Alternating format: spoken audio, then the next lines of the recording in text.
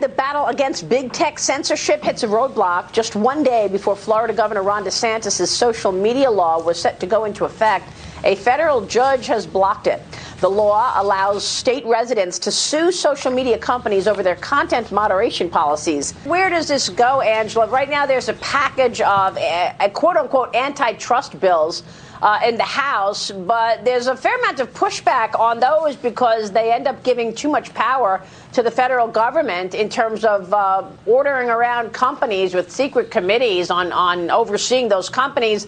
But there's no doubt, uh, most people agree that these social media companies have become way too dominant. Is it all about the antitrust division of uh, the DOJ or?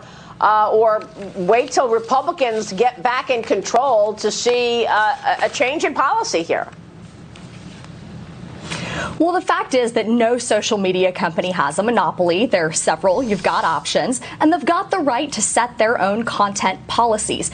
The problem is actually bigger than what this law sought to address, and the problem is that they don't enforce their own stated policies evenly. Look, Twitter allows the propaganda arm of the Chinese Communist Party to tweet. They allow the Ayatollah, the supreme leader of Iran, to tweet. They do not allow former President Donald Trump to tweet.